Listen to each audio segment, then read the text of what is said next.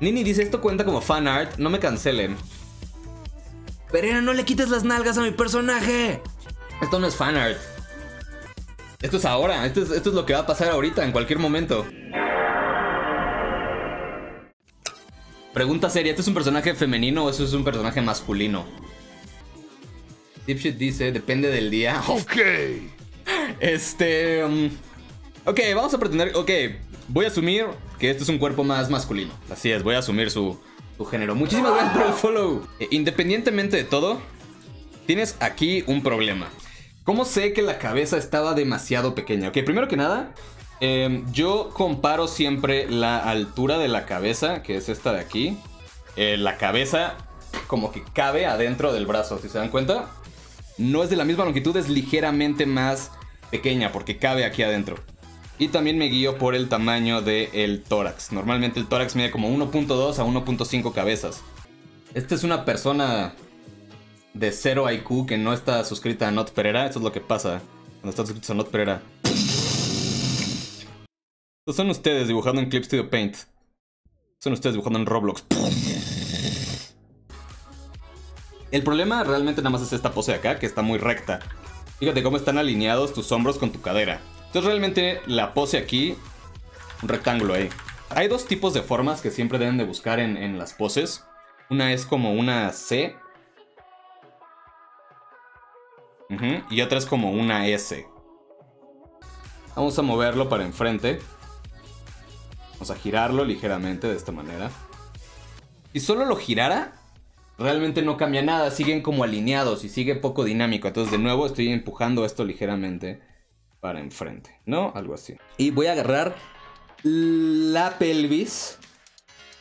La voy a girar ligeramente para acá. Ahora, aquí lo vamos a dejar ambiguo. Pero solo como referencia y para recordarles a todos eh, de la anatomía normal y cómo funciona. O sea, una vez que sepan esto, lo pueden modificar a su gusto. Este hueco solo es posible en la anatomía de mujeres. Esto no es posible en hombres. En los hombres no hay este hueco. Porque la pelvis es más angosta. Depende de la persona, ¿no? Es el tamaño de, de este hueco. Nunca lo hagan así. Luego veo gente que literalmente no pone un hueco, pone un- un- una caverna entre las dos piernas. Esto no. Es de, de hecho bastante pequeño. Mujeres, no, no es de a huevo tampoco. Este hueco en tres cuartos básicamente nunca se ve. O sea, sí se puede ver, pero es un caso muy, muy, muy extraño. O sea, lo que podemos hacer, de hecho, es lo que sí se va a ver, como la parte de atrás, que es como la nalga. Fíjate cómo aquí la boobie la tienes como a la mitad. La tienes como en partes iguales, ¿ya viste? Si quisieras que se viera más eh, claro, que es la parte de abajo como nada más se mete ligeramente de esta manera. Las caderas también las podría hacer un poquito más... No, no lo haga Not. Ahí está, así me gusta más el cuerpo. Voy a sacar nada más tantito este huesito. Llegó el momento. No, no, no, no, no, no. No hay un Not. No, no, no, no, no, no, no, no. Este es Evil Not Pereira. Evil Not Pereira no le quita la nalga a su dibujo. Y de hecho, hasta se dan cuenta que le indiqué nalga. Le indiqué la nalga trasera aquí. Evil Not Pereira quita hombros. De hecho, Evil Not Pereira se dieron cuenta. Ok. Quitó algo más. Le quitó chichi. ¿Qué está pasando? Scarlett Johan, a ver, acabo de ver su dibujo. El rendereado me encanta. Muy bien, lo que me causa conflicto a mí, personalmente, tienes como un choque de, proporciones. Eh, como que quieres dibujar las chivis, pero les dibujaste cuerpo de ser humano normal. Cuando dibujen chivis, yo recomiendo eh, quitarle detalle lo más posible a las articulaciones en general. Las muñecas, los codos, las rodillas, por ejemplo. Que el codo no sea muy delgado, lo hago como muy grueso. Eh, igual no hay como mucha diferencia aquí en este... Fíjate en el grosor de la mano y el grosor de la muñeca. Por ejemplo, aquí también tienes como la cadera muy este, separada de esta manera. Chance y solo dos líneas. Sea, simplificar todo un poquito más. El dibujo en sí está precioso. Y por eso no te estoy diciendo que lo cambies.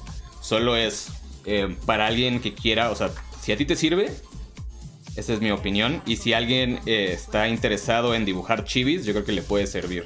Esto sí es, lo que, es algo que se ve raro. Eh, al tener la cabeza tan grande, como que tu cuello se ve demasiado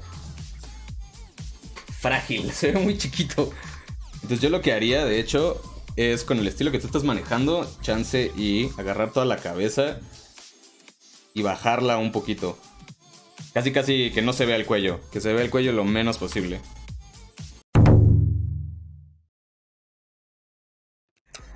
Vamos a explicar esto de nuevo porque... Ok, ven este cacho de aquí. Quiero que esto resalte más. lo selecciono, Tengo control U y le voy a subir toda la saturación. Y le voy a subir la luminosidad, se va a ver así. ¿Ya vieron? Se ve culerísimo porque se ve como este, este borde horrible. No queremos eso. Queremos que se vea como mejor. Que se vea como más suavecita la selección. Entonces en una capa encima, voy a pasar el aerógrafo de esta manera. Y en la miniatura de aquí, le voy a dar control clic. Esto selecciona la capa. La borro porque ya no la necesito. Solo tengo la selección. Y ahora si hacemos exactamente lo mismo, si subimos la saturación, van a ver cómo se ve mucho mejor, ¿ya vieron? Se ve como más, este... Como que hay una transición entre el área seleccionada. Es como... gracias, gracias.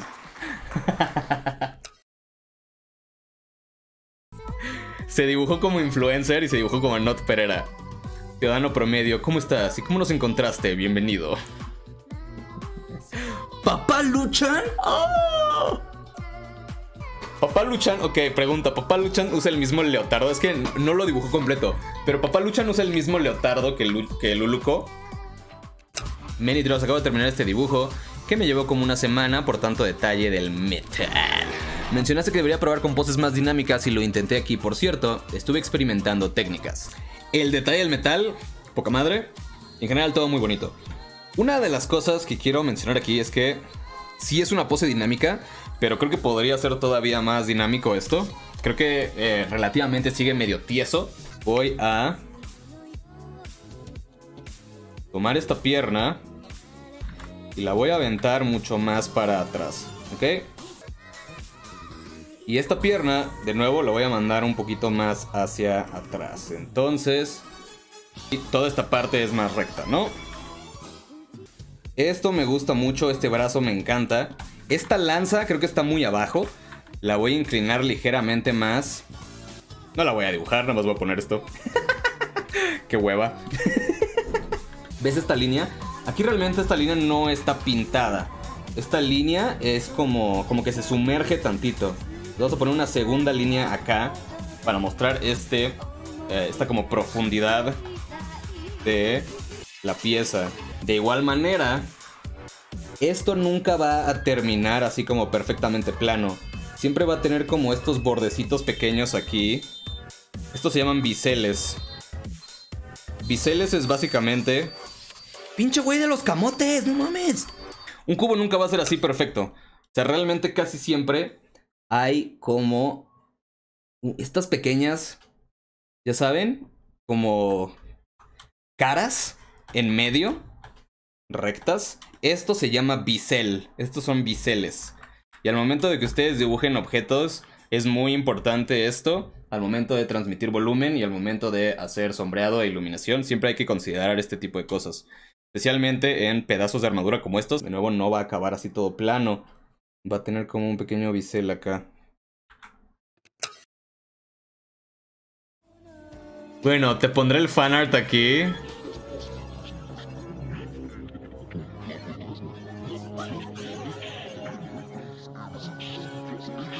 Chat, ¿cómo le quito la tableta de dibujo a alguien? ¿Cómo hago lo opuesto a un giveaway? ¿Cómo hago un takeaway de tableta? Que checaras la anatomía o la luz verde y la sombra rosa antes de que lo siga coloreando. Yo comentaba que me encanta a mí la combinación entre verde y rosa. Este es el dibujo que me mandó Sofía la ranita. en 4K, como podrán ver. Ok, me gustan como estos tonitos. Esto lo usé como, en vez de negro, usé como un color más azulado. Lo que voy a hacer es voy a seleccionar el pelo, el cabello, y lo voy a saturar mucho más. A lo más arriba posible realmente. Y lo voy a saturar muchísimo. Pero así, súper intenso. No tienes una luz muy definida, entonces voy a asumir que viene de la izquierda. Esto es por estas manchas de luz que tienes acá que vienen de la izquierda. Entonces voy a poner como sombras. Ahorita ya me acordé, la sombra debería ser rosa y la luz verde. Ya me acordé, lo, tengo al revés, lo estaba manejando exactamente al revés. Entonces, de esta manera. Tú empiezas a hacer las sombras directamente con el pincel. Yo os recomiendo que no hagan esto. O sea, pueden, si se acomodan mejor de esta manera, eh, no los voy a detener.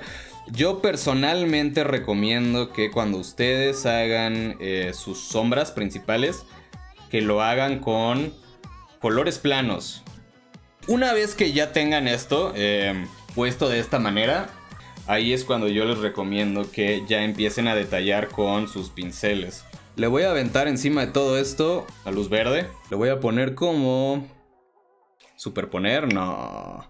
Y a las sombras les voy a poner un poquito nada más de textura. Porque de nuevo está como súper plano ahorita. Entonces me voy a ir en los bordes.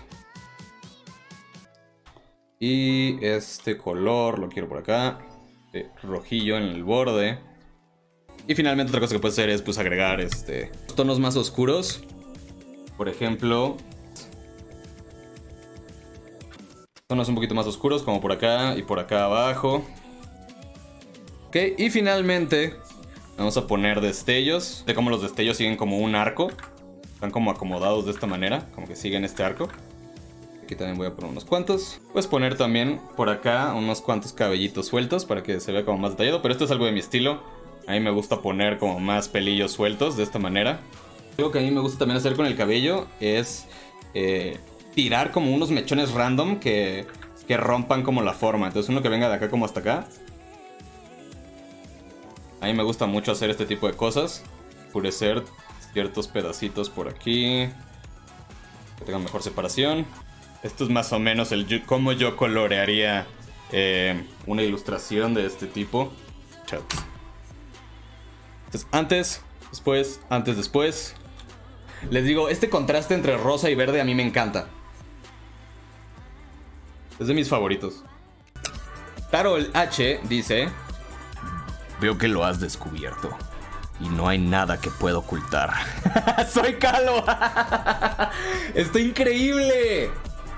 ¡Me encanta! Entonces vamos a hacer este dibujo de acá. Es la última retroalimentación del día.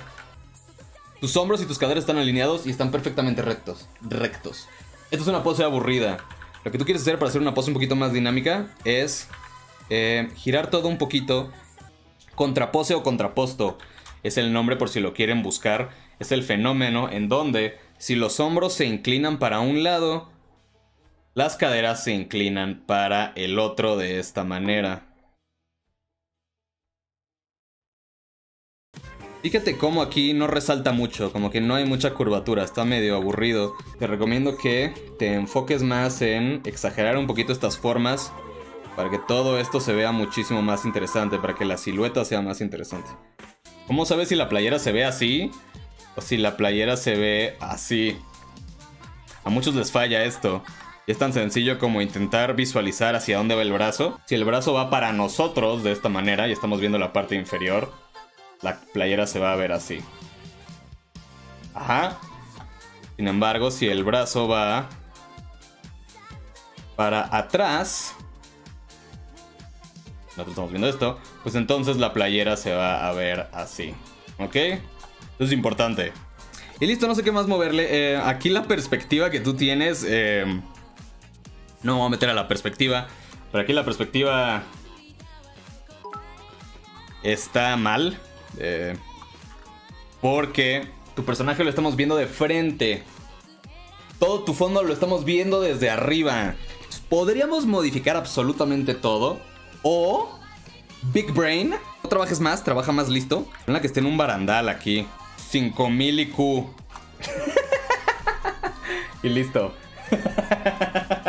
ya tiene sentido tu perspectiva. si quieren salir en la parte del final del video, eh, pueden compartir aquí en, en, el chat lo que quieran compartirle a los chicos de YouTube. Como siempre, muchas gracias a mis mecenas de Patreon y un gracias especial a Abraham Aguilera, el Senpai, Hero, Isad Naim y Keoni Kohler. Muchas gracias por su apoyo.